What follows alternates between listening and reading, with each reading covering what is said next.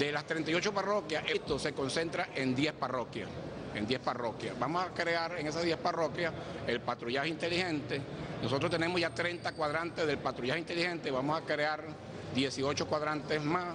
El ministro se comprometió a darnos los recursos necesarios que tiene que ver con patrullas y motos para que estos cuadrantes se activen. Bueno, y empezamos ahorita una nueva etapa de combate del delito, donde lo más importante es la voluntad política que tengamos los actores que tienen que ver con este combate del delito.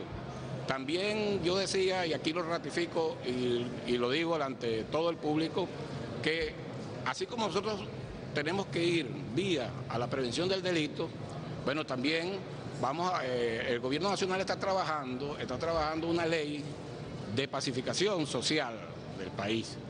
Pero esa ley, es decir, a las bandas, a las bandas armadas, yo le hago un llamado de aquí a las bandas armadas que hacen vida en el Estado de Carabobo, las bandas de delincuentes, que tenemos, nosotros tenemos levantado ya durante un año 70 bandas aproximadamente, 70 bandas tenemos levantadas georreferenciada las 70 bandas, ¿a dónde, ¿a dónde están?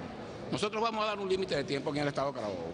Una vez salga la ley, que va a salir pronto, la ley nacional de la pacificación, nosotros vamos a hacer un llamado perentorio a estas bandas, no va a pasar más de 20 o un mes para que se pongan a derecho, para que entreguen las armas, se desarmen y entren a un proceso de paz.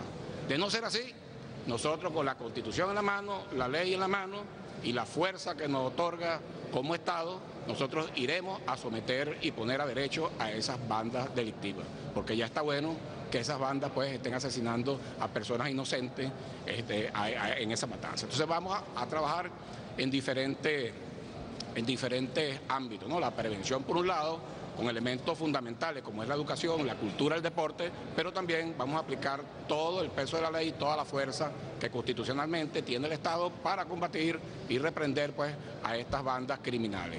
También anuncio que en el, en el Parque de Recreación al Sur se va a construir, o vamos nosotros a establecer ahí, el gran espacio por la paz y por la vida.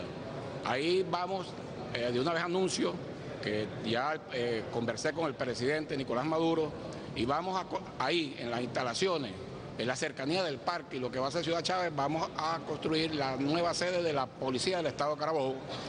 También vamos a construir en Ciudad Chávez, vamos a, destinar un espacio de aproximadamente 3.000 viviendas para hacer viviendas en guarnición para nuestra policía. Es decir, que nuestra policía que está en servicio viva en en el sur de Valencia, que en estas tres parroquias, hay que recordar, y esto es bien importante, de los habitantes del, municipio de Valencia, que, comprenden el 37% del total de los habitantes de todo el estado de Carabobo, son aproximadamente 830 mil habitantes.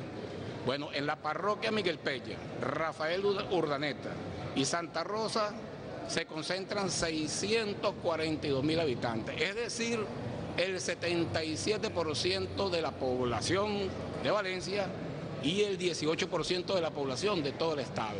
Pero en esas tres parroquias se concentra el 44% del delito que se comete en el estado de Carabobo.